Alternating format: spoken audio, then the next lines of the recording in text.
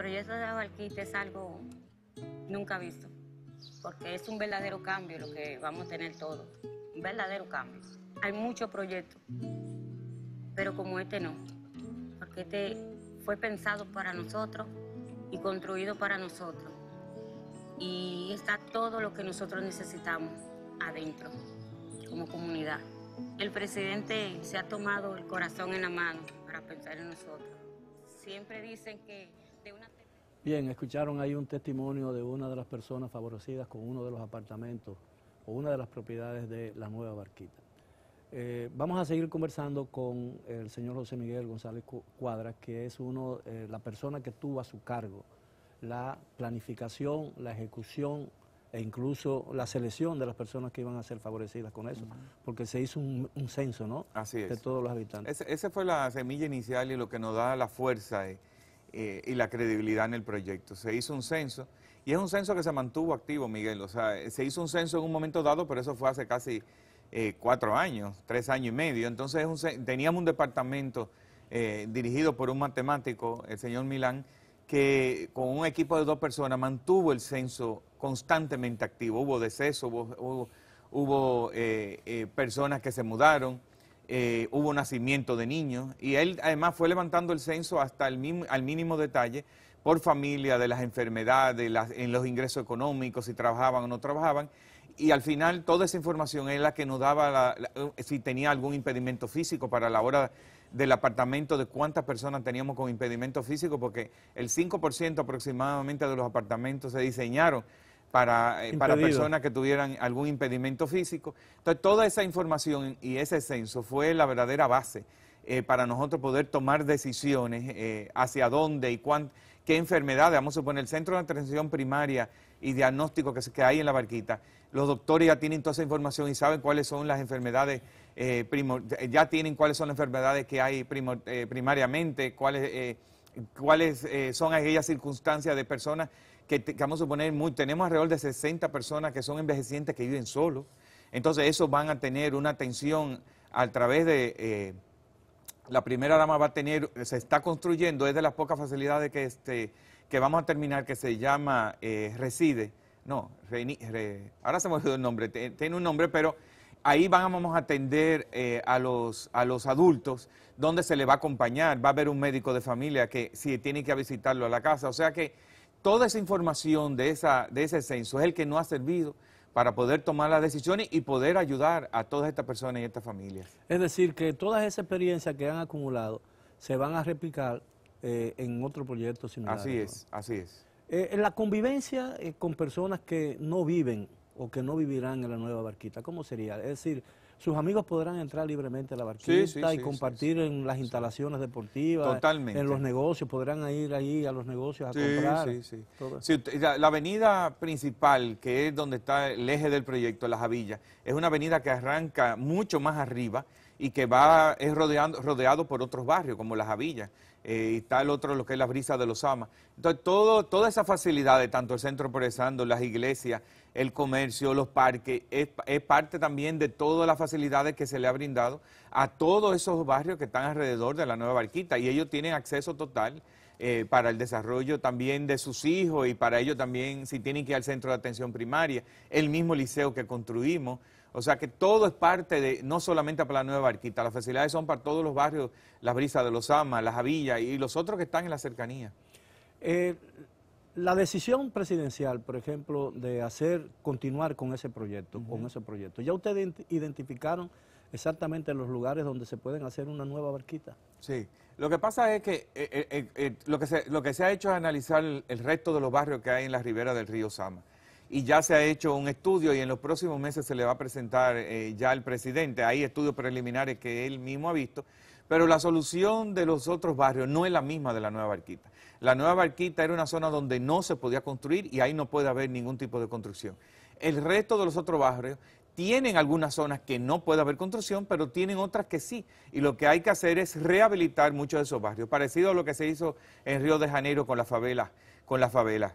Eh, entonces, hay parte que hay que desocupar, pero hay otras partes que lo que hay que facilitarla de equipamiento, de, áreas de entretenimiento, de parques, rehabilitar los servicios como agua, energía, eh, calles, eh, entonces cloacas. Entonces es, una combinación. Lo de la barquita fue algo especial porque es una zona donde no podía haber ningún tipo de edificación.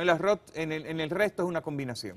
Cuando la gente se entera de que el gobierno tiene un proyecto nuevo de construcción de vivienda, la gente comienza a arrimarse al sitio, ¿no? Sí, claro. Y comienza la gente a emigrar a ese lugar. Eh, ¿Qué medidas se están tomando para evitar que eso ocurra? Bueno, es que nosotros vamos trabajando adelantado. Si usted ve, el presidente anunció el día de la inauguración eh, lo de la Barquita Norte. Ellos no sabían que, nos, que el presidente ya iba a anunciar eso. Y eso nosotros lo empezamos a estudiar hace dos años y medio. Cuando ellos empezaron a decirnos que ellos pasaban por eh, situaciones parecidas, nosotros empezamos a analizar. Cuando nos dimos cuenta de la situación, que, era, que había una parte de, la barquita norte, no entera, de que sí era afectada, y, lo que nosotros tomamos era la determinación de los seis metros. Los seis metros eh, de altura del río es lo que se, inunda aproximadamente los, la histórico que fue el huracán George que se juntó con aquella tormenta, fue alrededor de 5 metros algo. Entonces nosotros llevamos a los 6 metros en la barquita. Igualmente hicimos la barquita norte y nosotros hicimos un censo hace dos años que era con, fuimos como que éramos salud pública, que estábamos censando para Chincuncuya, que en ese momento se estaba desarrollando. Y pero era para nosotros levantar el censo exacto de qué había.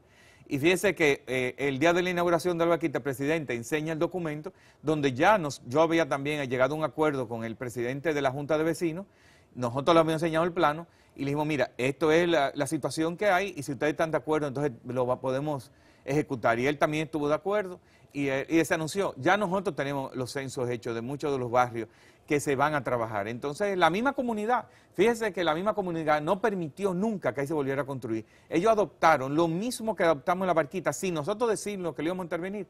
El presidente de la Junta dijo, aquí no se puede construir tampoco, como hicieron enfrente. Y yo creo que el resto de los barrios han entendido que si todos protegemos vamos a poder hacer las cosas que hay que hacer. Yo creo que el presidente ha demostrado que, él cumple la palabra, que tiene credibilidad. Esa credibilidad también nosotros la necesitamos por parte de la comunidad. Si ellos no ayudan a esa credibilidad, no vamos a poder acometer la cantidad de obras, porque la barquita hay muchas, como tú dijiste ahorita en la República Dominicana. La única forma que vamos a poder solucionar es que tenemos que tener credibilidad de ambos lados para poder verdaderamente ir a solucionar muchos de estos problemas que hay en el país. Su experiencia con la nueva barquita podría ser el comienzo de una decisión personal muy importante, que usted finalmente se decida por la política. No, no, no, yo, no, no, eso nunca, eso nunca. Yo creo que eh, mi labor es como empresario en esto fue algo especial de que el presidente me pidió eh, que colaborara con él en este proyecto, porque nosotros nos conocimos, fue con... Eh, eh, y nos hicimos amigos por temas sociales, fue con el tema eh, del Banco de los Pobres desde el año 99, que fue lo que nos unió y nos, identificó. Y en este momento él me pidió esta, eh, algo muy específico que fue esto, pero mi labor, a mí me gusta, mi labor como empresario, me gusta generar empleo, me gusta crear empresas. Entonces esa, e, eso, eso está ahí y, ese va a ser mi camino. Pero en el momento que haya que hacer cosas como esta, de que uno tenga que ayudar, eh, pero, y, tenga que ayudar eh, y, lo haré con muchísimo gusto. Y yo lo, en, realidad lo que he hecho es tratar de coordinar y colaborar la idea del presidente que se haga realidad. Pero muchas de las personas que intervinieron son, son servidores públicos. Yo oigo que, bueno, que el sector privado... Eh, intervino en este proyecto, pero en realidad yo siempre he sido, he sido simplemente un coordinador donde me ha ayudado de, de estos servidores públicos, que le voy a decir, que tenemos que reconocer el servidor público. Yo creo que todas estas personas que están de una forma u otra ejerciendo esto, es una labor muy sacrificada, eh, es una labor que son siete días a la semana, yo diría 18 y 20 horas, que estas personas le están dedicando, porque el que trabaja con las comunidades, esto eh, eh, es, es, algo titánico, titánico porque todo el mundo tiene necesidades y muchas de estas comunidades ven en estos líderes políticos, estos líderes comunitario eh, su, única forma de salir del drama que están viviendo. Entonces, para ello, la verdad que mi reconocimiento y, pueden contar conmigo. Yo colaboraré de, donde mejor lo puedo hacer, que es del sector empresarial. Sin embargo, el entusiasmo que usted le imprimió a ese proyecto parece decir que usted tiene una vena política. No, yo tengo una vena social. Una vena social sí la tengo. Yo tengo pero lo social, Lo, social mejoraría la actividad política. Sí, pero también desde el sector empresarial. Yo creo que, mira, Miguel, viendo la, situación de nuestro país donde está, eh, requiere de que todo verdaderamente, si queremos verdaderamente lograr el desarrollo de, de- de la totalidad, de que salgamos de esa, de esa pobreza extrema que todavía viven muchos dominicanos, requiere, y muchos empresarios, muchos, y, y, eh, y profesionales, aquí hay una cantidad de gente ayudando y tratando de mejorar esas vidas, pero yo creo que requiere de todavía un mayor esfuerzo, requiere todavía de mayor sacrificio, de mayor dedicación, y yo estoy dispuesto a hacerlo, manteniendo mi, mi, mi rol como empresario y en este tipo de casos como este o en otro que se me requiera, también estaré ah, tratando de ayudar. El presidente dijo en ese discurso que se lo había pedido prestado a su familia. Sí, sí, sí, sí. Pero no, no, dijo la no dijo el plazo. ¿no? Dijo el plazo, bueno, bueno. Bueno, muchísimas Bueno, gracias, por la ti, amabilidad. gracias eh, a ti. José gracias Miguel ti, gracias González. Cuadra por eh, concedernos esta, este, el privilegio de una entrevista tan importante y saber realmente cuál es el contenido total y global del esfuerzo que se está realizando para mejorar las condiciones de vida de esas comunidades que han vivido en una espantosa miseria y escasez eh, verdaderamente eh, asombrosa. Eh, vamos a hacer una pausa, después de ella regresamos. Continúen por favor con el despertador.